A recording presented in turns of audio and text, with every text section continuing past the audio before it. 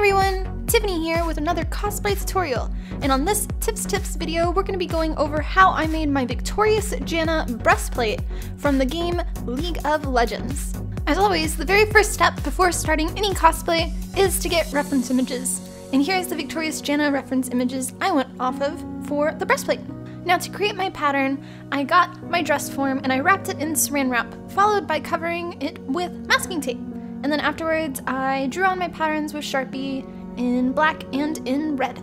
And if you don't want to make your own breastplate pattern, you can always use mine, which is available on my website at www.tiffanygordoncosplay.com. See the link below. For the main parts of the breastplate, I used 4mm EVA foam and traced my pattern onto it. And after that, I traced on my detail designs using a silver Sharpie. Next, I used an Excel blade and pierced halfway through the EVA foam around the silver Sharpie lines, and then used a heat gun to activate all the lines to open up, followed by cutting out all the breastplate pieces with an Excel blade. For the breast area, I used 4mm EVA foam, cut out, and then heat treated, and then applied contact cement glue to both the sides and let fully dry. And once dry, I attached the pieces together. I next got out one of my mannequins and I covered the breast area in Vaseline. The reason for covering it in Vaseline is so that way the Worbla won't stick to the mannequin. I then used a heat gun to heat up the Worbla to form around the breast area. I've started using Worbla underneath my breast areas for cosplays because most of the time when transporting your EVA foam pieces in suitcases, the boob area tends to get squished a little bit, and this helps to prevent that.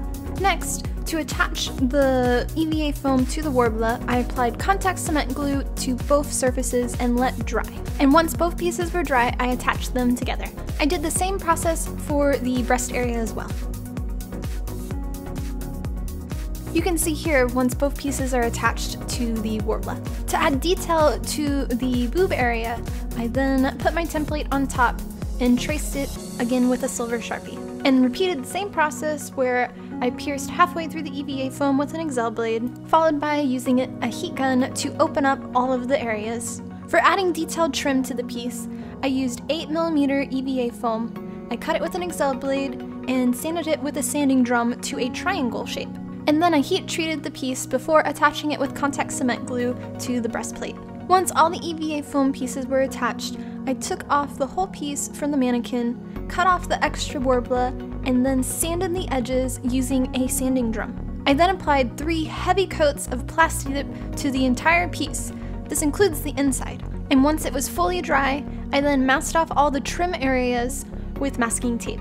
Because the Plasti-Dip was black, I didn't need to do a base coat, and instead I just went straight to painting using Testors silver airbrush paint and a little bit of airbrush flow improver. And don't forget about doing the backside too.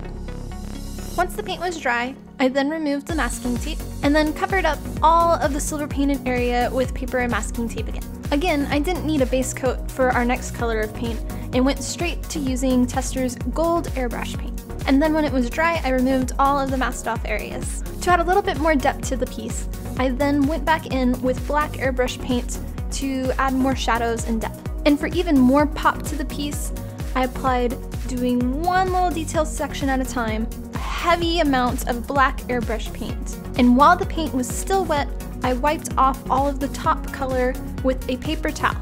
This leaves all of the black color in the crevices and will make the piece pop. You can see here after it's done. And once all the airbrush paint was dry, I then went back to add a little bit more pop of golds and silver using uh, acrylic paint by hand. And when all of the paint was dry, I went and sealed the entire thing using satin clear enamel spray paint. The only step left to do was to attach the breastplate to the leather corset with contact cement glue, and then it was done. And that is how I made the breastplate for my Victorious Janna cosplay from League of Legends. Thanks guys for watching this Tips Tips video, and I hope you enjoyed it, and if so, don't forget to subscribe. Much love!